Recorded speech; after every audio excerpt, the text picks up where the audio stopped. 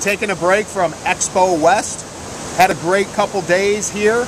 Met a lot of potential partners for Traverse Bay Farms and Fruit Advantage. Our fruit salsa was a big hit. A lot of domestic distributors as well as a few international distributors are going to be picking up our fruit salsas to distribute it both domestically as well as internationally. The patented cherry prime formula was a big hit for a number of our uh, new partners that we met and are working with. And our tart cherry juice concentrate was extremely popular. So all in all, it was a very successful show here in Anaheim, California.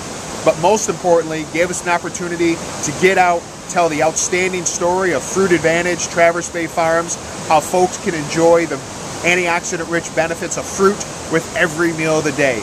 I'll keep you updated and I'll provide some additional footage. Thanks, have a great day.